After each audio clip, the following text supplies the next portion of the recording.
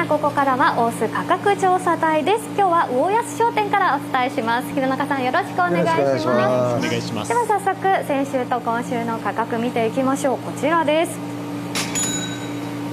まずは本マグロの価格を見てみますと先週と変わっていませんがどんな理由でしょうか？あの先週ぐらいから本マグロのいいのが入ってきてまして、はい。あの値段も安定して入入ったのであの品質から言うとお値打ちかと思いますはい。今この目の前に並んでいるのが本マグロですがこれはどの部位でしょうか？これはあの本マグロのカマですね。カマあの焼いていただいてもいいし煮ていただいてもすごく美味しいですいろんな使い方がありますね。そして他にはどうですか？これがこ赤身でこれが大トロの部分ですね。わあ大トロも美味しそうですね。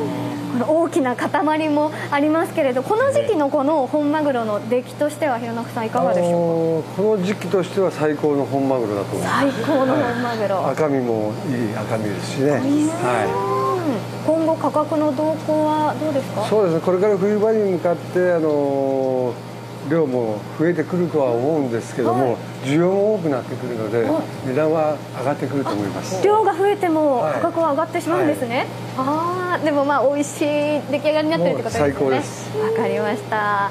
では続いていきましょうかはい金目鯛こちらは変わらずですね。そうですね。あのあの入荷自体が多いわけではないんですけども、はい。ここのところこの値段で入ってきてますね。まあ台風の影響もあるかと思いますが今後どうでしょう？やっぱりあの台風次第天気次第ちょっと読めないところがありますよね、ではイワシこちらは変わらずに120円となっていますね。たくさん美味しそうですね、もう今あのと愛知県の豊浜から来るんですけども、はい。もう煮ても焼いてもフライでも何してもお値打ちで美味しいかと思います。この食べど食べ頃ピークっていうのはいつまで続くんでしょう？一月あと一月ぐらいは続くんじゃないかなと思いますけど何とも言えないんですけども、はじゃあもう少し楽しめそうですね。そうですね。はいでは最後にヤリイカですがこちらは先週と比べると50円と大きく上がりましたあのねやっぱり台風の影響九州ですのでねちょっと受けまして量も水揚げも少ないということでちょっと高めですね。はあ今後どうでしょうか？